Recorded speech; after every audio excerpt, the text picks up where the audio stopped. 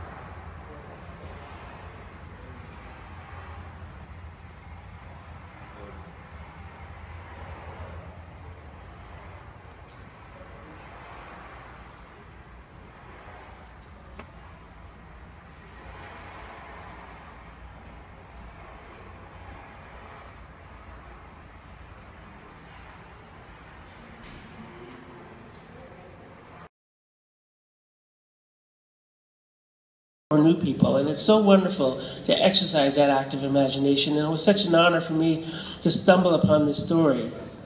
The first time in the history of the Americas that we have a large mass of people of African descent leaving the Americas and going back, and I say back, to Africa is in 1792, January 15th, when 1,200 of those same loyalists who came 10 years earlier leave voluntarily on 15 ships in Halifax Harbor, men, women, and children, and sail, passing slave vessels as they go to found the colony of Freetown.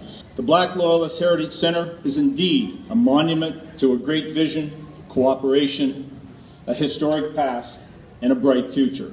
This center compels visitors to explore and discover with state of the art displays that tell of the triumphs, the tragedies